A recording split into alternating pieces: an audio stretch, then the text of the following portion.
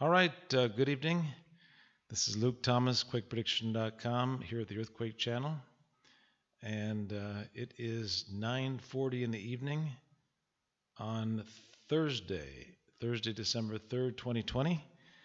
And we're very excited. Our new forecast model is working incredibly well. And uh, we're going to review that real quickly of uh, the quakes that did hit. And um, first of all, in southeast Turkey, uh, a 5.0 earthquake hit there, far northeast Syria, and southeast Turkey. And we had, if you listen to, uh, uh, I think it was the last forecast or the one before the last, maybe it was a couple days ago, we were calling for a 80% um, risk in uh, northeast Syria. So that quake hit the 5.0. And uh, I, I, believe it was yesterday we, we were talking about the uh, southwest Nicaragua, uh, 70% risk there, and that was, um, well, we got a 5.2 earthquake there today, 4.4, 4.3, 4.4, and 4.5, all exactly in the bullseye where we had uh, mentioned yesterday. So things are working really well. Um, I do want to mention uh, real quick that um, we're looking for a 4.0 to 5.0 earthquake in the uh, southern Spain or central Portugal. Um, look over at the Greece forecast and you'll see on the bottom of that page the Athens Greece forecast. Um, we have a significant risk in the southern Spain and into uh, Portugal on December 4th and 5th. So watch for that. Let your friends know about that. And um, so let's look at the, the countries that we do have finished so far today. We're working on uh, the other ones here. Uh, but first of all, in uh, Indonesia, we're looking at a 4.0 to 4.5 in central Sumatra on December 4th. A uh, 5.0 earthquake uh, off the northern coast of Colombia in the next uh, 24 to 36 hours, December 4th or 5th.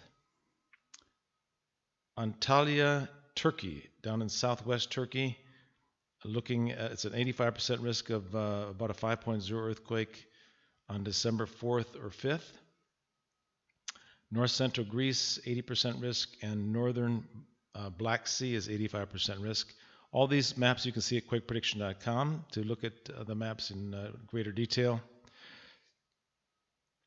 The risk is uh, quieted down in uh, California, and we have a 70% risk in Ridgecrest, uh, tomorrow on December 4th. And uh, the big uh, situation, the great uh, um, situation right now is uh, in western, well, west of Anchorage. And uh, I expect a, and we did get a 6.4 southwest of Anchorage back a couple days ago, but this one is expected west of Anchorage, and we've been talking about this for a couple days but uh, the risk has uh, peaked and spiked for late on December 4th into early on December 5th. And the risk is at a level of the uh, the quake that hit back on, um, I believe it was uh, November 30th of 2018.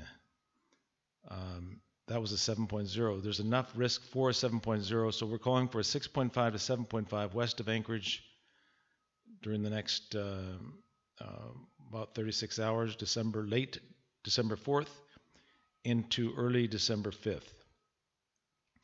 And uh, the risk again is uh, in Chile is southwest of Santiago and east of Santiago, and in uh, Italy on the, late on the third into the fourth, there should be a 4.0 to a 4.5 in east central Italy along the coast there.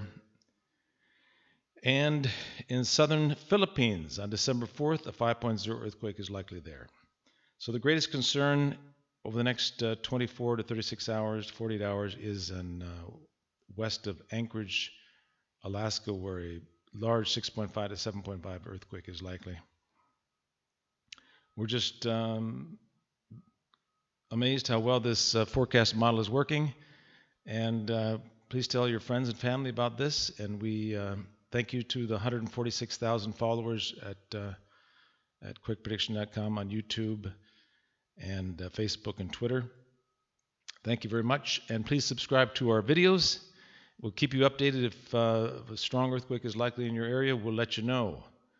And uh, once again, uh, there's a an unusual spot for an earthquake right now is in southern Spain and, and central Portugal for December 4th and 5th, and watch for that one as well.